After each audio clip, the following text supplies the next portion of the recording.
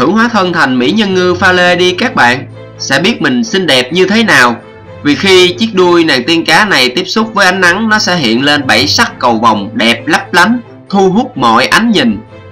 Nên cẩn thận làm người cá pha lê rất dễ gây sự chú ý đến người thường. Họ sẽ rất thích bắt cóc bạn đấy nha. Nói đùa cho vui thôi, Đuôi người cá này rất thích hợp cho những bạn chụp ảnh nghệ thuật hơn bơi lội.